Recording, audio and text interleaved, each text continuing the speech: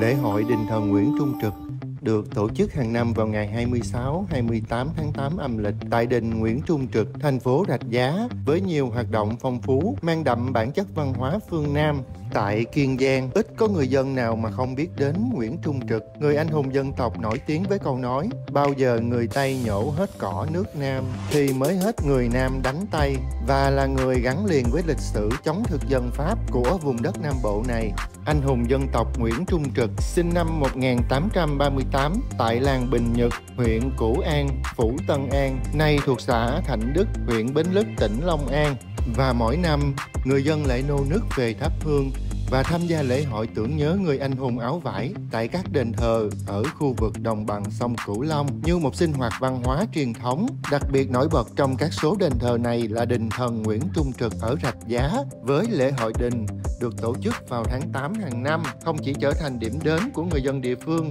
mà còn trở thành nơi tưởng nhớ Nguyễn Trung Trực của đông đảo khách thập phương